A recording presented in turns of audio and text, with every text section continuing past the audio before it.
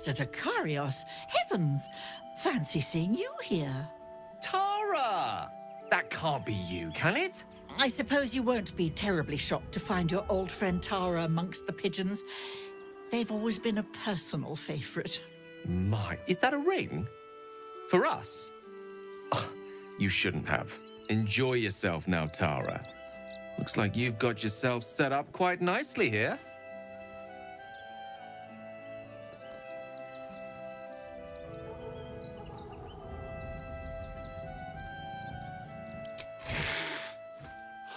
She isn't my Tressym. She's my friend. And from the looks of things, it appears she's eating pigeons. Oh, right. Did you hear that, Tara? Um, stop it?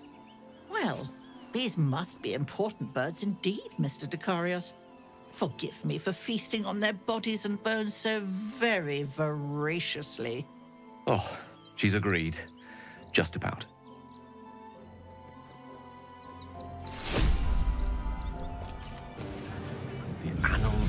Of The preamble to a civilization's downfall, committed to parchment by the very hand that wrought its destruction.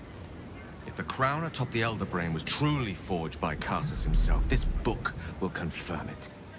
All we have to do is turn the page.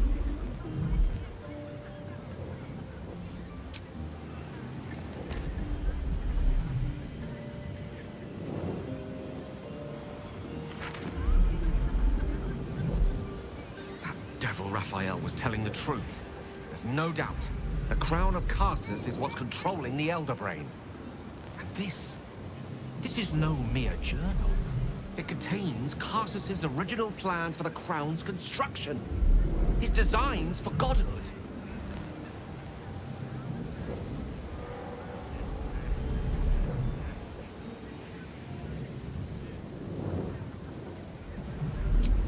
Not exactly. Was what he did with it that sealed his fate, and, for a time, that of magic itself. The crown was merely the means. The book states that the crown and netherstones were originally one construct, seemingly sundered at the moment of Karsus's downfall.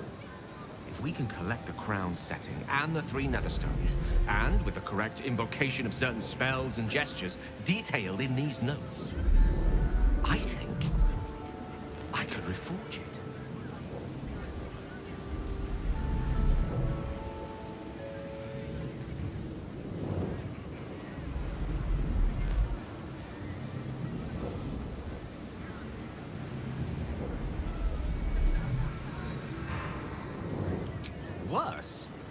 could be the best thing that ever happened to me.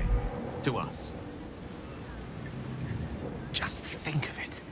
The power of the gods in mortal hands at last We'd be free of doctrine and dogma, confined only by the limits of our imaginations. I promise you, the gods will never grant us such a blessing, no matter how much we worship and adore them.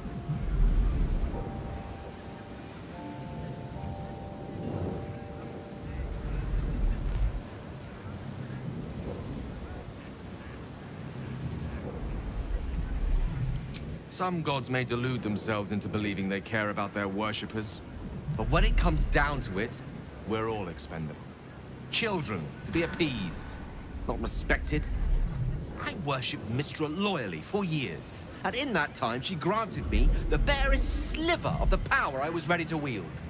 Even with the fate of the world at stake, she had little more to offer me than the means of blowing myself up at a more convenient time. She's done nothing to help us. Mystra wanted the brain obliterated because of this crown. She fears a world in which such power is beyond her control, ready to be claimed by Karsus's successor.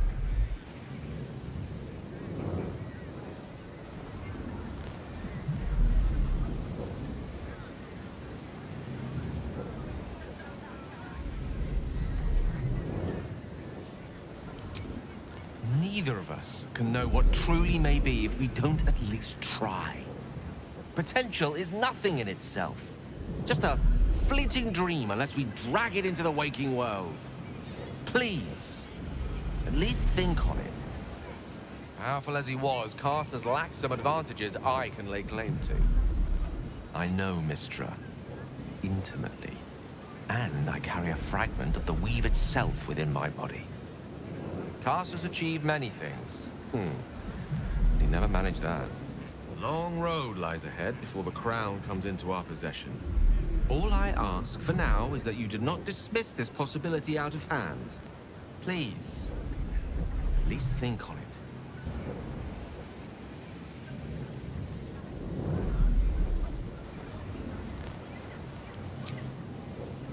I see. Suppose I am asking you to take a leap of faith even the most loyal of companions might struggle to land gracefully. It's been so long feeling... inferior.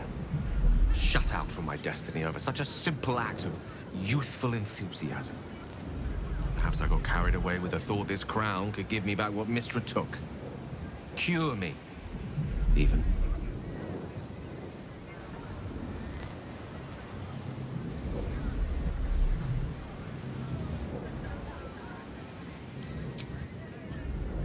You're right. There aren't many wizards who'd care to be mentioned in the same breath as him, or his folly. Whatever comes of this, we cannot allow the crown to be reforged in Raphael's image. A devil wielding the might of Karsus. It would be the end of everything. Stands just as Elminster promised. Mystra, goddess of the weave, mother of all magic. The old man wasn't lying. She's opened the summoning channel. Can't you feel it? Gale's right. The very air around the statue crackles with magic. It sets your teeth on edge. A stream of pure, undiluted weave.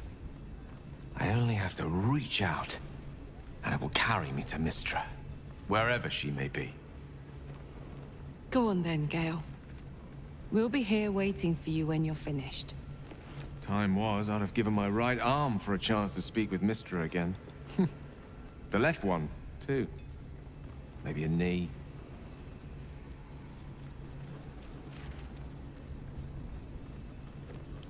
Hmm. Not the message one hopes to receive from a past lover. But her first love was always the weave. At best, I was a close second. When I pictured this moment, I thought I'd feel more in control. Yet, here I am, with palms sweatier than a bugbear's armpit. I always wonder what being nervous would feel like. I hate it.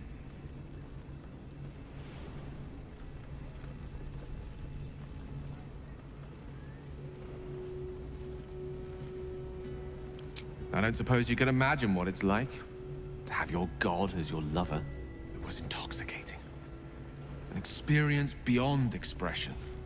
During my time locked away in Waterdeep, I prepared a quite comprehensive speech for her on the subject of our former relationship and the manner in which it ended. Alas, recent events have rendered the majority of it moot, so I'm gonna have to improvise. Unless you have any words of wisdom to impart before I go.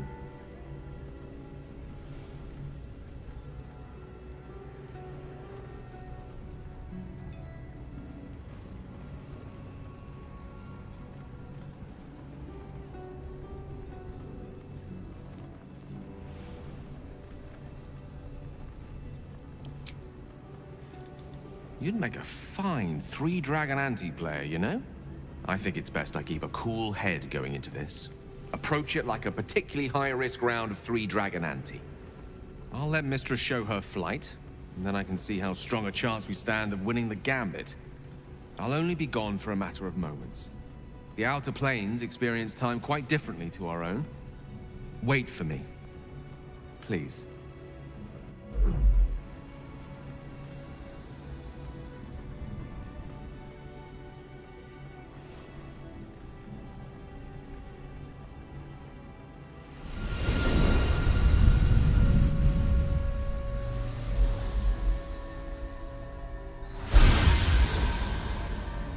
Gale of Waterdeep.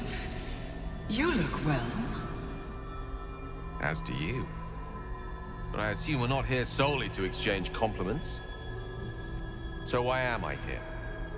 You discovered what lies at the heart of the Absolute. The crown of Karsus. And you disobeyed my instruction. Why? Because you had no right to ask that of me. You cast me out. Remember? You were my lover. My chosen.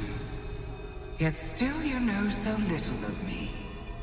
The past cannot be undone with self-pity, nor can a future be forged. Only with the truth will you see the way ahead. The fragment of magic you tried to return to me was not of my creation. It was the Karsite Weave. It is a corrupted, half-born magic, wrought in the brief moment Karsus ascended to godhood. It hungers for power, just as he did, and it can never be sated. You unleashed something that would consume all magic in existence, and yet you thought only of preserving yourself. So that's what you're scared of. With the crown of Karsus reforged, I could take control of the Karsite Weave. You can no more control the Karsite Weave than a weather vane could control a storm. That it entered your body and consumed no more than your powers was a miracle. But we will not be granted another. The only reason the orb sleeps is because I have allowed it to feed on the True Weave. A temporary measure, but one that will not be enough to save us. With each day that passes, the Elder Brain threatens to become a new kind of god. Its worshippers, a scourge of soulless illithids.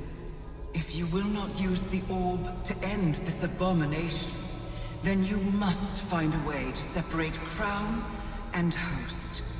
When you've done this, you must surrender the crown of Karsus to me. A great ask indeed. You've given me much to think on. As you always did. So be it. Follow the needle of your own wisdom. We shall see how truly it leads you.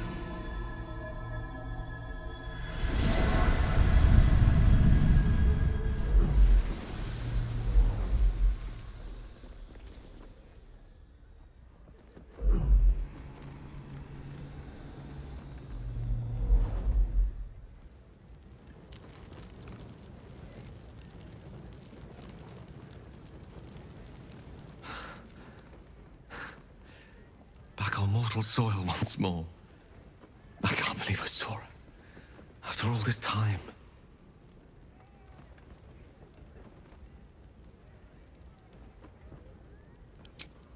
Relieved. Drained. Proud of myself for summoning the courage to go to her in the first place. And, if I'm being totally honest, a bit lightheaded. As if it wasn't enough to have seen her again. She didn't exactly summon me there for small talk. The Karsite Weave. Within me this whole time. I knew the orb was no ordinary ball of magic before it to be Karsus's malignant creation. Gods! How did I not see that?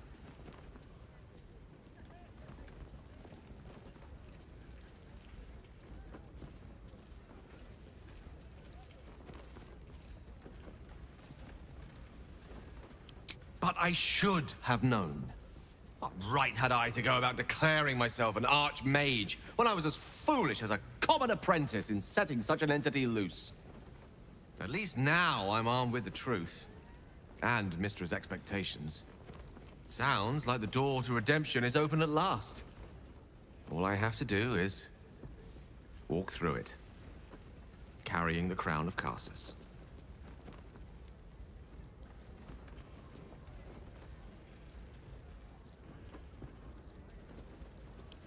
perhaps. I see few other options open to me. If I ever want to reclaim those parts of myself the orb snatched away. If I ever want to be me again.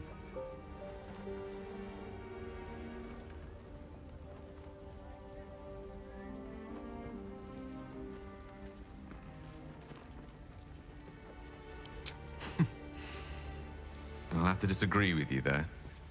Having not one but two parasitic entities within your body does very little for one's faith in one's personality. Still, I should take the compliment with the same generosity it was given, so... Thank you. If I can promise you one thing in return for your faith in me, it's this. I will use everything in my power to ensure we defeat this evil. I will not let you down. Now, I believe we've a date with an Elder Brain to get to. Shall we?